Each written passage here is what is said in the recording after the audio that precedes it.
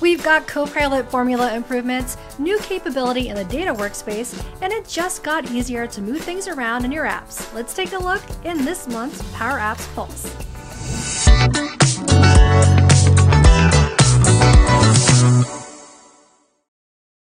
First up, a long awaited improvement, you can now drag and drop screens and controls right in the tree view.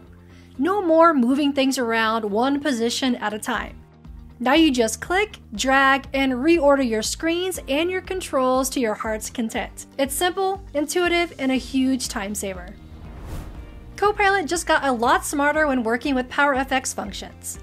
Now it can help you write formulas for functions like navigate, notify, user, set variables, and a lot more.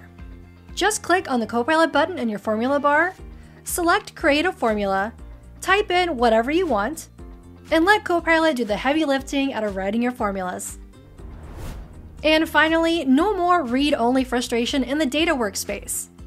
If you've used the data workspace to create tables and maybe added in some existing tables, you might have noticed this read-only message. But now we have full editing capabilities for existing tables.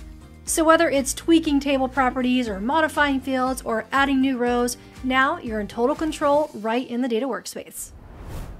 And that's it for this month's Power Apps Pulse. Be sure to check out the Power Apps monthly blog for even more updates. We'll see you next time.